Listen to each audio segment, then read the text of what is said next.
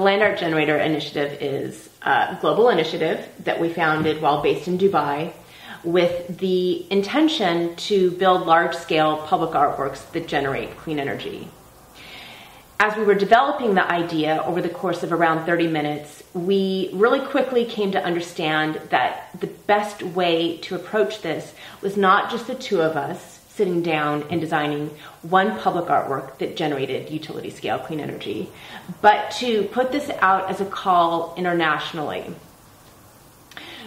bring the minds of creative individuals, engineers, scientists, etc., together and have a really huge collective idea of what this could mean. We're talking about energy on the scale of hundreds or even thousands of homes generated by a work of art.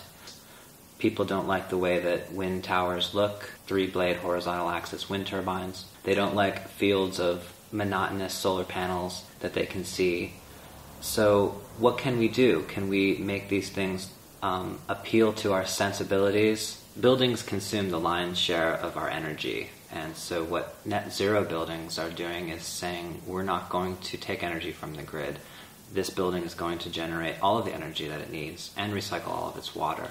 Going beyond net zero, one can talk about net positive. and that is sort of the idea that inspired us to conceive of the Land Art Generator Initiative. We were incredibly inspired by the landscape there. The desert, the relationship to the water, obviously the relationship to the sun was inspiring. Um, and what we also came to find living there was that there's a strong history of Emirati artists working in the genre of land art. The Land Art Generator Initiative is a multifaceted project that is engaging creatives in envisioning the solution for a transition to 100% renewable energy infrastructure.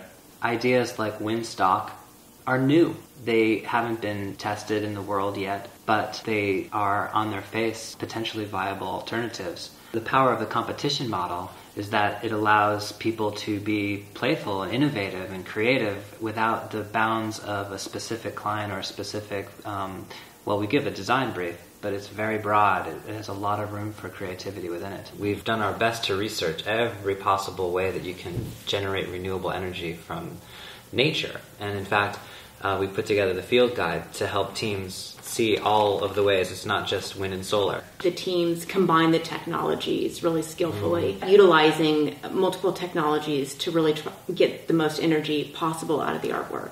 Fresh Kills Park offered such a great opportunity because it's such a large area of land that is a reclaimed landfill.